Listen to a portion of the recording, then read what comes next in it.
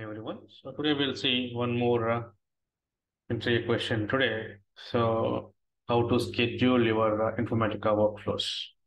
And suppose if you are going to some interview, they may ask you, can you explain how you are uh, scheduling your workflows? Or else they may ask, can you explain what are the different properties we have uh, in scheduler, Informatica scheduler? Or else they may ask in different ways. Can you explain that? How you are scheduling your jobs? And what are the possible ways we have in Informatica? So they can ask like different questions on the scheduling part. Okay. So Informatica itself, we have a default scheduler. Okay. So by using that, we can schedule the Informatica workflows. And also we have a third party schedulers. By using that also, we can schedule the Informatica workflows. Okay, so if you see uh, any projects now, or if you are taking any one company, some uh, majority companies, they're not using the Informatica scheduler. I mean, the default scheduler, they're not using very rarely. Okay, but uh, they always use the third-party schedulers to schedule the jobs. So there are many third-party schedulers like a Control-M, and we have a Autosys and we have a Tidal, like we have a different third-party schedulers. So as per their requirement or as, as per their convenience, they use the third-party schedulers to uh, run the ETL workflows. Okay. Uh, but Informatica scheduler also we can use it, but some if you take 100 projects out of that 80 projects, they use third-party schedulers. Okay. Uh, few projects, they may use this Informatica scheduler. Okay. So we'll see now uh, how we can schedule, I mean, Informatica workflow by using the Informatica default scheduler. Okay. So what is the purpose of this? As everyone knows that. So what is the purpose of the scheduler? So if you want to run Informatica workflow, so how we run the Informatica workflow? Uh, just we will go to the workflow uh, manager and we simply right click and start workflow. That's what we do. This is what we do, right? Suppose I don't want to run manually. So as per my uh, business requirement, it should run on specific time. Suppose let's see, it should run midnight 12 o'clock. So I don't want to go and trigger this like, like this. So, so automatically once the time uh, it reaches the time, then automatically should trigger the workflow. That means I don't want to run manually. So as per the schedule, that particular uh, workflow should trigger. Okay. So that is the purpose. So to avoid this manual execution, so we use the scheduler part. So by using the scheduler, we can automate the job. Okay, that is what the purpose of the scheduler. So how now, now we'll see how to create a scheduler and what are the different properties we have in that that we are going to see. And also you have to remember we have two types of schedulers, reusable. Another one is non-reusable.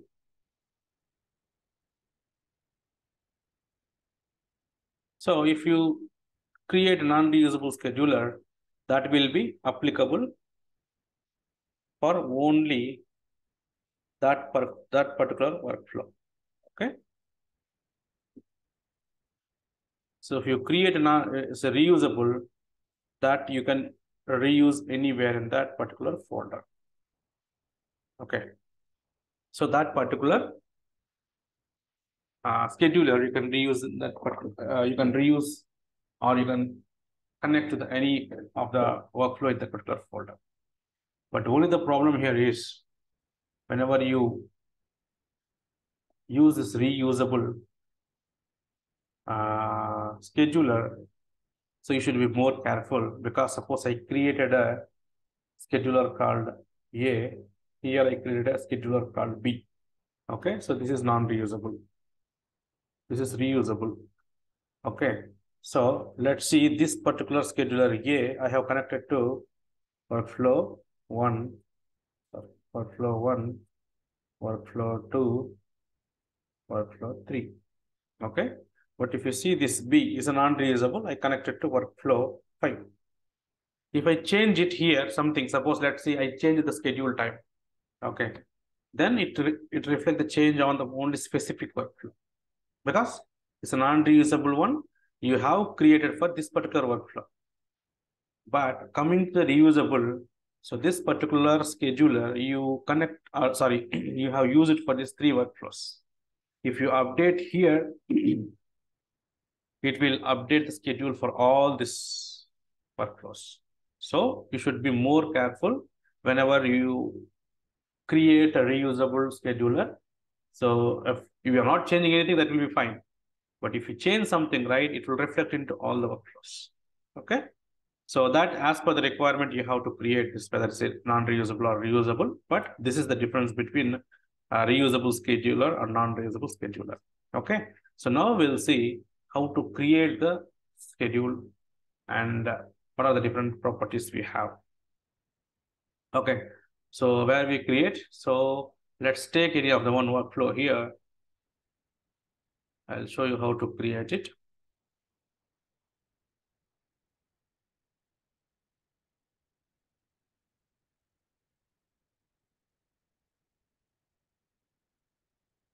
Okay, so now if you see, I'm just opening one workflow.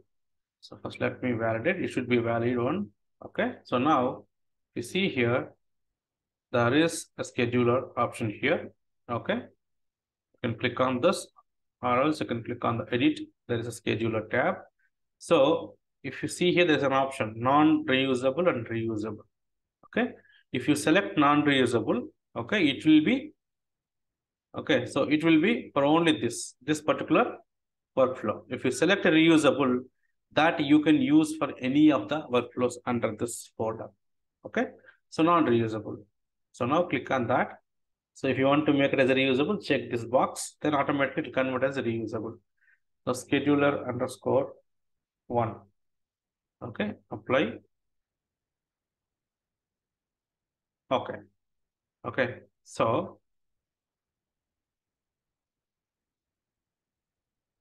click on this. Now you see this, I have created scheduler one. The name of the schedule is scheduler underscore one. But if you see here in the schedule option, there are many options we have. So we have three options usually. So run options only we have three. This, this, and this. So first we'll see run continuously. So what is mean by run continuously means, okay, you have created a workflow one. Okay. Suppose it took one hour to complete the entire load. So after, that means let's take now time is let's take a 1424. Okay, so it took one hour. That means 1524, it got completed.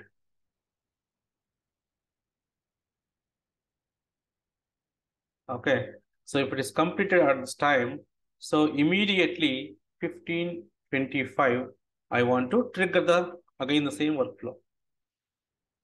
That means once the load is completed, immediately I want to trigger one, one more time. So like that, it is keep on running 24 by 7. Okay, that means whenever the load got completed, then automatically it will run one, run one more time. Like it's like 24 by 7, it will keep on run, like for years also. If you make it the option like this, run continuously, okay, then it will con uh, continuously, it, it will run forever. So this is disabled anyway.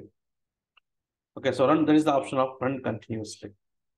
So whenever the integration service initialize the, I mean, integration service initialize the service, then immediately this particular workflow will start. So it keep on run. Once the previous run is complete, then immediately it will trigger the next run. So like that, forever it will keep on running. So there is no limit or there is no deadline. Uh, there is no end for this. If you use this run continuously. Okay. So it's a run on demand. So run on demand is nothing but, okay. So run on demand is nothing. It's like a manual. So whenever I want to run, then I can run this. That means you are going to run manually. So as per my request, I am going to run the workflow. That is the run demand. So I mean, whenever I want, as per my convenient, I am going to run it. That is that's the meaning. So run it on integration service. There is different options we have. So what exactly it means is, whenever the integration service initialize the service, then it will start the workflow as per the schedule options. So here also same only. Whenever the integration service initializes service, okay, then it will start triggering it. But once the workflow is complete, then immediately it will start. But here also the same thing, but only the difference is as per the options, whatever choose, as per this it will run. So whenever the integration service is initialized at the service, then whatever the set schedule options you have, as per that it will run. But here also same, but continuously it will run once the load is complete. But here you can choose an options, suppose run once. Suppose let's see, I want to run the workflow on specific time. Let's let's let's take 31st night. Okay. Here.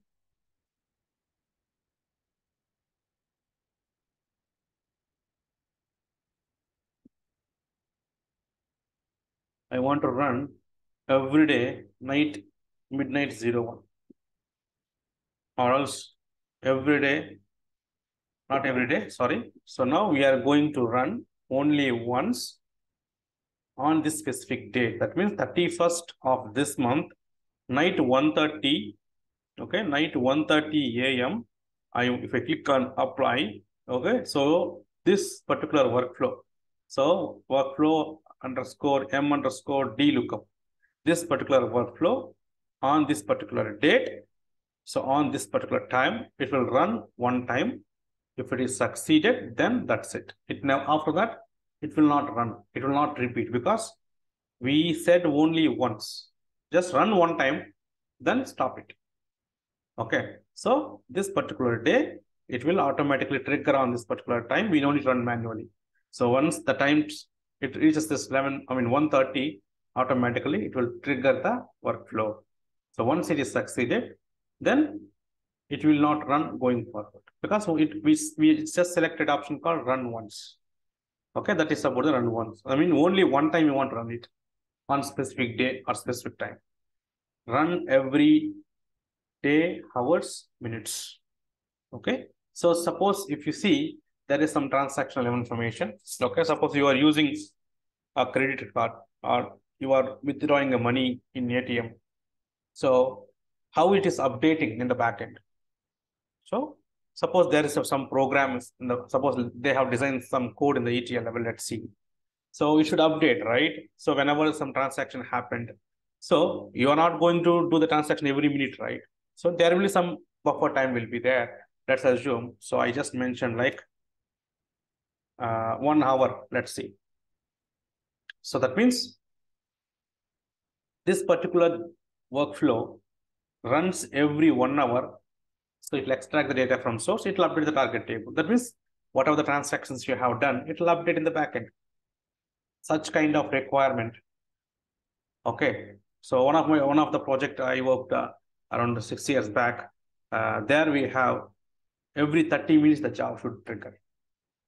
So the particular job run only 15 minutes, then again, after 30 minutes, the job triggers. That means every half an hour interval, the, the job keep on triggering.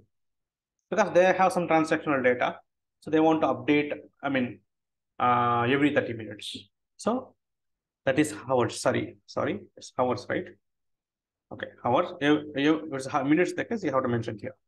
So if it is every one hour you want to run it, you just mention like this, or else you want to run this particular workflow every 30 minutes, just you can mention this. Or else I want to run this every day. Okay. Then you can use a days. Okay. So third option is customized. So now you can see here. So now repeat every day. Okay, one day Okay, so now there are again options. We have weekly, run on the day, so on specific day. So we have. So I'm just selecting it. So now you see here, run day we have. So now if we see days, days in the case, all the days. We have seven days, right? That particular day, if you want to use it, okay, then you can go with the days option. Okay, every week, we have a week here. Supposedly, every week on this particular specific day, okay, repeat every Monday. Okay, so the requirement here is see, repeat every one week. That means every Monday it will run. Okay, so now there is a monthly job. That means, see, we can just specify that suppose it's like a daily or weekly or monthly by selecting these options and we have a time also see here you can select the time so the customized means so you can customize as per your requirement so suppose i want to run weekly i want to run monthly i want to run like a daily basis so that as per your convenience you can or else supposedly i want monthly so only second Monday I want to run it. Yes. Suppose I want to run every second Sunday. Yes. See, of the month. So this is like customization. So as per that business requirement, if you want to do something other than the regular uh, options, you can go with this. Okay. So that is about the customized. So now we, here you have again end options also we have. Okay. So what exactly the end options here? Okay. Suppose run once. We have a run continuous. Suppose let's take run continuous. Okay, that's not required anyway. So, so now if you see end options we have. So run on integration service initialization. So if you select this, suppose like I just remove the day. Okay, zero. Sorry. So now every 30 minutes I want to trigger it. Okay, so now so the start date for this particular uh, schedule is 31 of this month, but I want to end it this year end, let's take December, by December 31st, this should not run. So this is the last run. So until this one, so now see here, every day 130, it is running. Okay, every day 130 it is running. So what is the end date here? 31st 12 2023. That means by this time it will stop. So this will be the last run. So that means that we are specifying the end time. Okay. Suppose if you select this after one run, suppose let's see. So it is started by this particular time on this particular day. So end after one run. Once the run got completed, then should not trigger it. Suppose I just mentioned five runs. So what it mean? So 130 it will start. Then interval here 30 minutes you have given. So five runs it will. So 130, 2 o'clock, 230, 330 like that. So it will run five runs. Then after that it will not trigger. So it will stop forever. So forever in the case there is no end. If you schedule this job, so it will run until you stop it. Okay. So suppose if you schedule this particular day, so like one year, two years, three years, keep on running.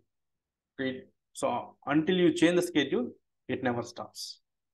So these are the different options we have, but if this three options you have to remember, but this no one is asked, but at least you have to remember.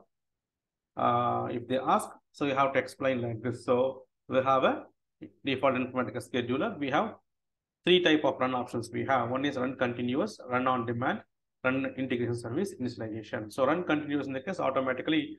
So I mean, so once you once the integration service initialization uh, initialize the service, then automatically it will trigger.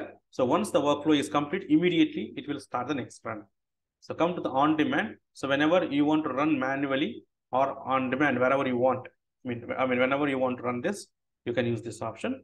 So this is like a Again, same thing. Whenever the integration service initialize the service, it will run as per the schedule options. So we have a run run once, run every, customized. So run once for only one run. So then I want to stop it. So run every 30 minutes or one hour, every five minutes or every one day. So or else every five hours. So some customization happen uh, required, then I may go with these options. So end options, end on, end after, forever. So end on in the case, particular day, I want to stop it. So end after only after 10 runs or 5 runs or 30 runs, I want to stop it. Yes, you can do that. Forever, it never stops. So start option is this one. So what time you want to, what date you have to start it and what time you have triggered it. So these are the different options we have, but you don't need to remember all here, but it, at least you should explain this. Three, what is mean by run on, I mean, integration service initialization, run on demand and run continuously. So if you explain this thing, that will be sufficient. Suppose if you remember the schedule options also, that will be fine. Suppose you can say that once you enable this uh, run on integration service initialization, there will be three options for the schedule. Run once, run every customization. Run once in the case, only one time it will run. Run every, we have day, hours, minutes. If you select what is the option, as per that it will run. So customization. So if you want to customize the scheduling part, Suppose there is a requirement. I want to run my workflow every month, first day. Such case, you can customize it. So they have different options like this. If you explain these things, that will be well sufficient. But to be frank, uh, we are not frequently using the schedule option, Informatica schedule option. So we depending on third-party schedulers, as I said initially, like we have a Control-M and Autosys and uh, tidal, like we have many things. So based on that, it will trigger the Informatica workflows. But this is will be useful. Okay, this will be useful if you are attending the interviews. If anyone asks, can you explain that? So what is in the scheduler? So where is this options available? How you schedule it? So now you people know that, right? Where is options available? How to go to workflow, edit, schedule option, we have a reusable and non-reusable. They may ask question also. Can you explain what is in by reusable scheduler, non-reusable scheduler? So as I said initially, so reusable scheduler, so it will be used for the many workflows. If you edit the particular scheduler, it will reflect on all the workflows. But non-reusable, it is specific to the particular workflow. Okay, that is what you have to remember. And so how to create it, you have to go here so now if you click on this, so now here you can create a scheduler as per the requirement. So here you have to specify the name of that. Okay, so now we have created a non-reusable. So it will be specific to the particular workflow. So if it's a reusable, okay, it's a reusable. Okay, no schedule. There are no schedule objects in the folder. Okay, that's fine. So as it, is not reusable only for this uh, particular workflow. So reusable, that will be for all. So let me show you the other way to create it. So now here also we have an option, schedule. So you can create it here also. Click on new. Okay, so you can create a schedule underscore. Okay, schedule, you can create it. Okay, so now this is the scheduler. So like this also you can create. Now you see there are many things. Scheduler option here. And another another one, edit. Schedule option. So like this. Okay, so that's what you have to remember. So what is meant by non-reusable and reusable also you have to understand. So that is about the scheduling part. So if it is required, you can go here and you can schedule it. Okay. If it is not required, then you can ignore. So just like prepare for the interview purpose. So anyone asks instead of saying no, so you can at least explain that. So Informatica scheduler, we have two types of schedulers, reusable and non-reusable. And non-reusable is nothing but it is specific to the particular workflow. Okay. So it is specific to the workflow. Okay. So the second thing here is reusable in the case, it is like you can reuse and uh, that particular schedule we can reuse to the any of the workflow. Okay. That's what I had explained. So after that, if they ask, can you tell me what are the different properties or run options we have? Then you have to explain the run options here, what we have. So run options, this one, we have to explain. If they still ask about the, the schedule options, you can explain or else that will be fine. I think they just explained only these three. So how you schedule, if you say that, so I can say that I can go to the workflow, there is edit option. So there is a schedule. So going to that, so I can go and create a schedule for the particular workflow. So you select it, automatically it will be scheduled. Okay, that is what you have to explain. So, uh, but we are not frequently using this Informatica scheduler. But uh, as I said, like they are using a third-party scheduler for many projects. Okay, so that's all for today's session. Then we'll see with other question and next, I mean, next session.